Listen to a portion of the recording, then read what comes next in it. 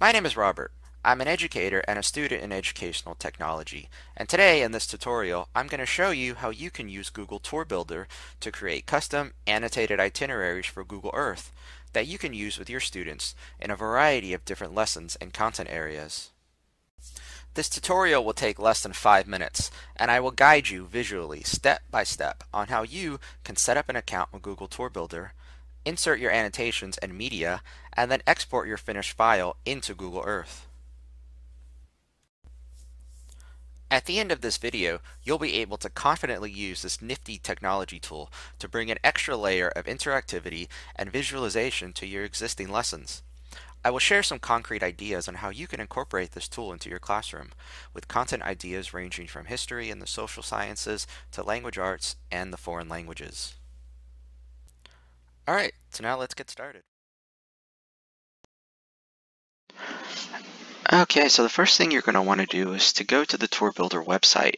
You can get there by going to tourbuilder.withgoogle.com. And once you're there, you're going to need to sign in. If you already have an existing Google account, you can sign in using that. I'm already signed in using my personal account. Uh, this is what I use for email and everything else. If you don't already have an account, you can go ahead and create one. It takes just a couple of minutes. It's very simple to use, and you can use that across all Google products, including Google Tour Builder.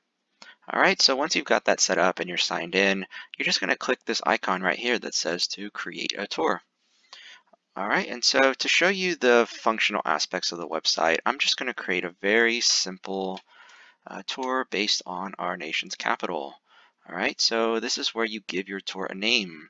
You can make it very simple and straightforward as I have, or you can be creative. And then you're gonna put your name, or in the case of your students, this is where they would put their name. Okay, and then create the tour. Okay, and then this is the interface that you're going to use to start building your itinerary. So you can see the map is already centered on Washington, D.C. And this first screen right here is basically going to be your introduction screen. So this is where you can add an introductory photo. You can put a brief summary of your tour to give your viewers an idea of what's going to be included in the itinerary. Um, but the meat of the itinerary itself is going to be when we start adding locations. So you see this blue icon over here on the left. This is where we can add our first destination. So I'm going to go ahead and put in a very popular uh, stop in Washington, D.C., the Lincoln Memorial. Okay, you see the map automatically centers itself on the Lincoln Memorial. And we're just going to click again over here to add this to our tour. And then right here is where you can add a lot of different materials. So I can add photos and videos using this link right here. For your itinerary, you can add specific months and dates that you may have visited the site. And then down here is where you can add your annotations. Okay, and then over here on the map, you can move around. You can zoom in or zoom out. And then once you found the view that you really like, you click this blue button right here to lock it into place. And when we finish this tour, we're going to be exporting it into Google Earth. So there's going to be a lot more functionality. You're going to be able to really play around with the map. Um, in many cases, there will be 3D um, buildings, 3D versions of monuments. Um, so it's going to be a lot more dynamic than this, but for our purposes now, we just want to put in the different sites in our itinerary. Um, this is very functional. So again, we're just going to put in all of our materials. And then in a minute, I'm going to show you more or less what that looks like once you've exported that into Google Earth. Um, so for this tour, I'm just going to go ahead and add one more location to our itinerary. And of course, another very famous stop in Washington, D.C. We're going to add the White House. All right, so now that I have a couple of itineraries on my tour, uh, I'm done editing. So I'm going to click this button over here in the top right. And now is when we're going to export it into Google Earth.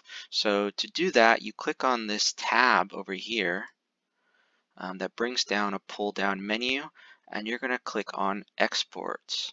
Okay, and we're going to export this into a KML file. That's a special file type that Google uses for Google Earth.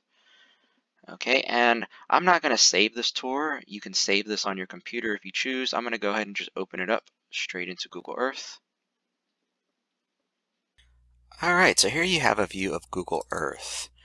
I'm using the desktop version of Google Earth, but Google Tours can also be used within the web-based version of Google Earth. Uh, but for this demonstration, I'm going to use the desktop version.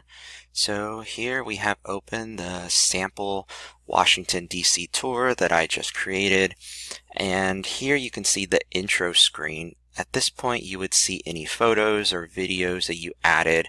As you remember, I didn't add anything to mine, but if you did, this is where you would see yours. Okay, and so then to go to the first site, you just double click it over here in the left-hand menu underneath Places.